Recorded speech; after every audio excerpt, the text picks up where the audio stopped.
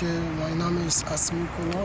Ich komme aus Togo und ich bin 17 Jahre alt und ich wohne in Nürnberg, Sigmundstraße. Ähm, mein, ähm, mein, wie heißt das? Und auf dort mein,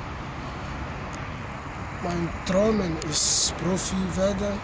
Ich wollte Fußball spiel, gut Fußball spielen, damit sie gut Verein finden und damit Profi werden auch. Mit wel- welchem Verein spielen Sie? Spielst du? Ich, ich spiele jetzt bei Forst, Landesliga. Ja, ein, ja. Gut.